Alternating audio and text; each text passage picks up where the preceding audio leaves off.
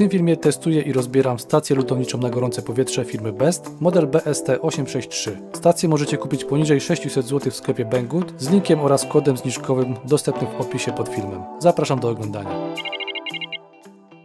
Sprzęt przychodzi w dużym i dobrze zabezpieczonym pudle.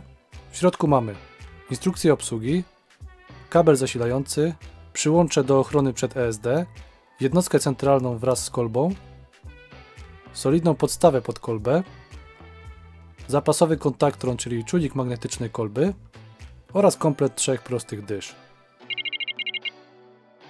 Mamy 1200 W mocy, regulację temperatury od 100 do 550 stopni, dokładność teoretycznie plus minus 1 stopień, sprawdzimy to. Wyświetlacz LCD, wydatek powietrza zauważcie nie jest podany w litrach, tylko w stopniach, od 1 do 100 możemy sobie ustawiać. Poziom hałasu poniżej 45 dB, tutaj mamy wymiary, temperatura pracy, no i tu jest schemat panelu przedniego. Do tego przejdziemy później.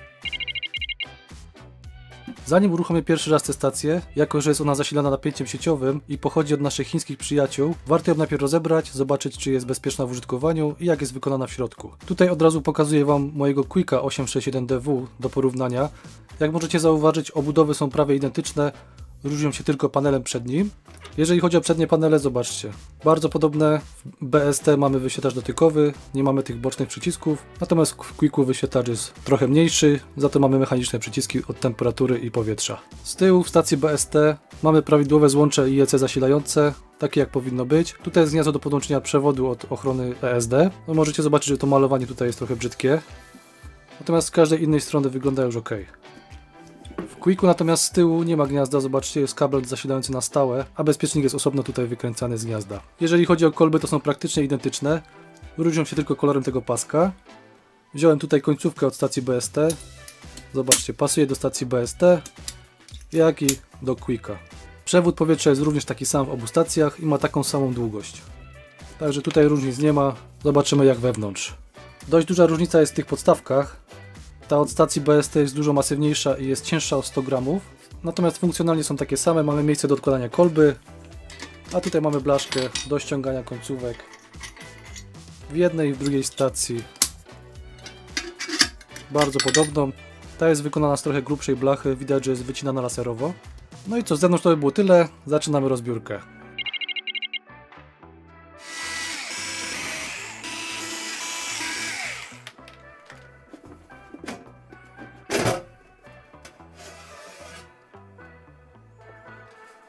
Ok, przeanalizujmy na szybko co tutaj jest. Tutaj wchodzi nam zasilanie sieciowe 230 V. Ten przewód fazowy jest tutaj podłączony do włącznika zasilania. No i z niego idzie faza tutaj na ten duży filtr. Spójrzcie jak on wygląda. Kawał puszki. Co tutaj od razu zauważyłem na wejściu. Konektory są izolowane, wszystko niby fajnie. Natomiast ten od uziemienia nie jest zaizolowany i zauważcie, jak dotykał tutaj izolacji tego przewodu fazowego, aż się delikatnie przetarł, nie wiem czy to widać.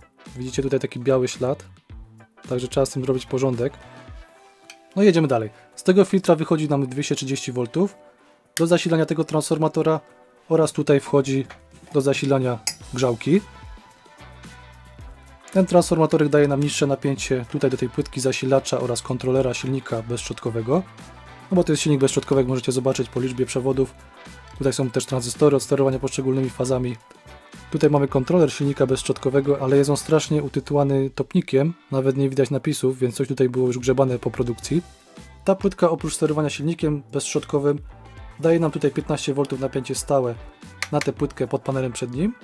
Tutaj zasilanie wchodzi nam na stabilizator, ten stabilizator daje napięcie na ten mikrokontroler, który jest niestety zamazany, nie widać napisów w ogóle na nim. Tutaj mamy buzer, tu mamy wyjście od termopary, tutaj mamy wyjście do panelu z przyciskami, to jest osobna płytka PCB, zobaczcie. Ciekawe. A tutaj mamy część wysokonapięciową, która służy do sterowania grzałką. Grzałkę zasila ten duży triak BTA41. Przykręcony on jest do radiatora, ale zauważcie, że ten radiator w ogóle nie jest zamocowany nigdzie. On się trzyma tylko na tym triaku. To mi się nie podoba. Tutaj wychodzi zasilanie grzałki, zobaczcie, tutaj również te koszulki są luźne. One i tak by niewiele dały, bo te konektory są dobrze przykręcone, tutaj jest blacha, no ale nie są zgrzane odpowiednio. Jak widać mamy tutaj wycięcia w płytce, część wysokonapięciowa jest oddzielona od części niskonapięciowej w odpowiedni sposób. Tutaj mamy optotriak, pewnie grzałka załączana jest w zerze, także nie ma tutaj żadnych zakłóceń. Co jeszcze zauważyłem tutaj, zobaczcie, jeden z przewodów od termopary w kolbie ma ściągniętą koszulkę termokurczliwą, nie do końca jest ona założona, także to też trzeba będzie poprawić. Jeśli chodzi o ten mały radiator, to on jest już przymocowany do płytki na takim trzpieniu, także nie rusza się w ogóle. No ale z tym to trochę słabo. Generalnie jak na chińską tanią stację wygląda to wszystko w miarę ok. Oczywiście poza tymi tutaj małymi wpadkami. Wszystkie wtyki są poklejone. Tutaj mamy jakieś opaski. Tutaj jest fajna izolacja gruba na ten przewody dodatkowa.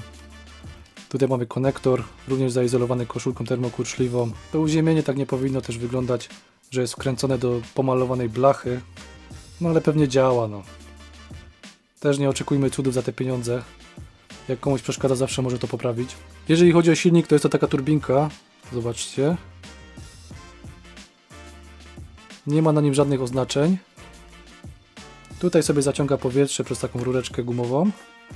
No a tutaj puszcza już dalej do wyjścia.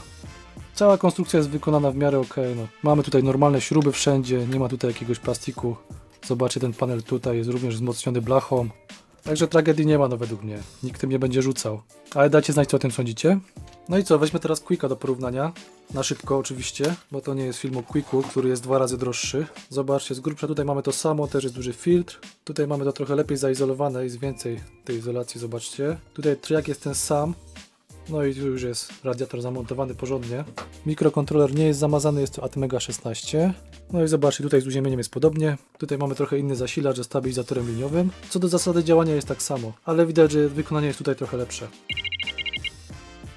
Jeszcze jedna formalność przed uruchomieniem.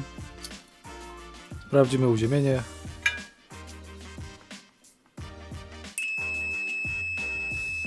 Mamy uziemioną końcówkę kolby. I obudowę również mamy uziemioną. Także możemy bezpiecznie włączać maszynę. Trzeba jeszcze pamiętać o tym, żeby przed uruchomieniem kolba zawsze znajdowała się w podstawce, inaczej stacja nie uruchomi dmuchawy po włączeniu zasilania.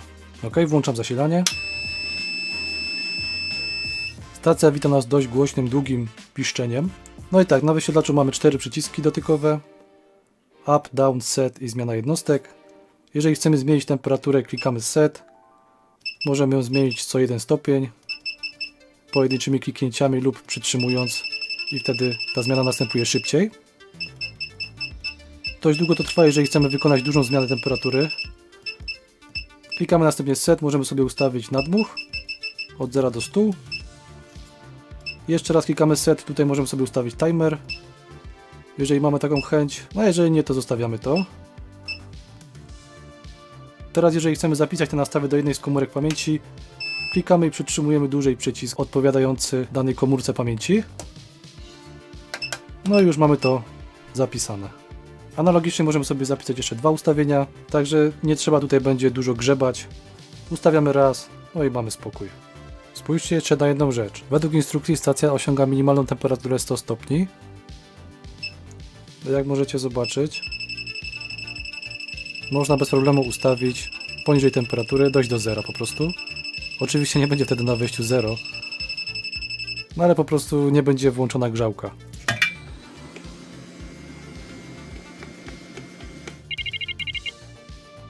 Na trzecim kanale mam ustawione 550 stopni, czyli maksimum. Nadmuch 100 i sprawdzimy jaką moc jesteśmy w stanie uzyskać.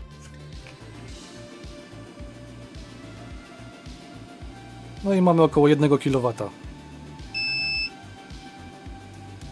Teraz stacja już się nagrzała, przechodzi w tryb taki dogrzewania. Po odłożeniu oczywiście grzanie się wyłącza, stacja się wychładza. Jeżeli osiągnie 100 stopni, no to wyłącza się wentylator. Maksymalną moc, jaką udało mi się tutaj zarejestrować, to było 1100 W. Jest to zależne od napięcia w sieci. Jak możecie zauważyć, nie mam tutaj zbyt wysokiego. Przy około 230 jest ponad kilowatt. No ale nie ma tutaj 1200 W. Producent nie podał jaki jest wydatek powietrza w litrach na minutę, ale porównamy sobie siłę nadmuchu z Quickiem na maksymalnych ustawieniach. Quick ma rzekomo 120 litrów na minutę, więc porównując te wyniki określimy mniej więcej oczywiście te siły nadmuchu.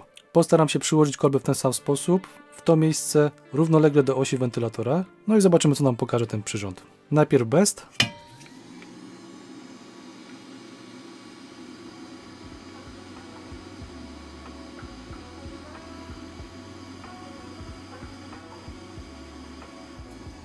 Ok. Czyli było 2,08 metra na sekundę. Teraz quick.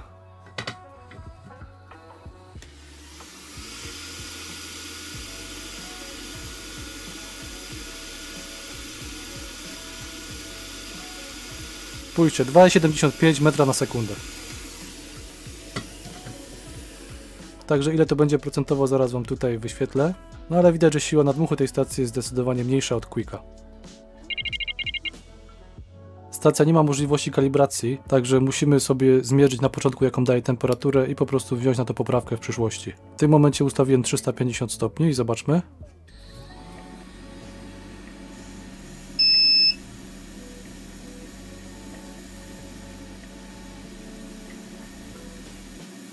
A few moments later. Tak to mniej więcej wygląda po ustaleniu się temperatury. Oczywiście dużo tutaj zależy od ustawienia termopary, zobaczcie. Wystarczy delikatne ruszenie i już mam spadek. No ale widać, że temperatura jest w miarę stabilna. Oscyluje wokół tych 350 stopni, które ustawiłem. Teraz czas na mały test praktyczny. Wylutujemy sobie kilka elementów. Tu możecie obserwować pracę stacji. Tutaj ma licznik w sekundach, także wszystko jest jak na dłoni. Zaczynamy.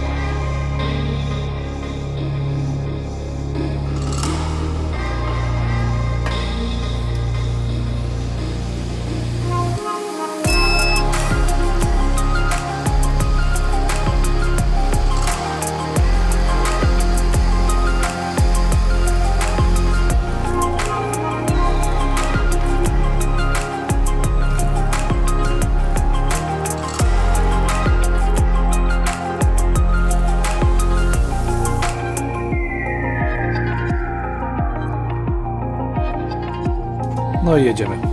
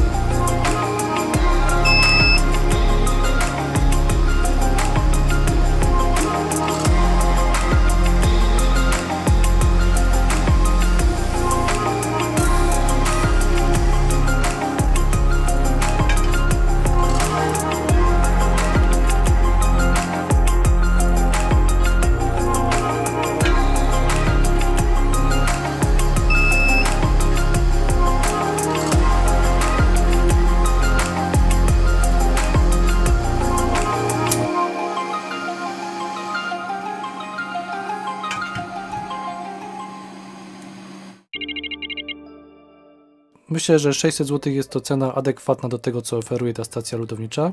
Po drodze wyszło tutaj kilka małych minusów, m.in. ten montaż w środku, dość głośny buzzer oraz brak możliwości kalibracji, no ale ogólnie stacja wykonana jest przyzwoicie, robi robotę, lutuje, wszystkie opcje działają. Wydatek powietrza jest na poziomie 2 trzecich Quicka, także myślę, że na pewno będzie lepsza od tych najtańszych z kompresorem czy wentylatorem w rączce. A jeżeli chcielibyśmy coś lepszego od tego, no to wiadomo, trzeba już zapłacić ponad 1000 zł.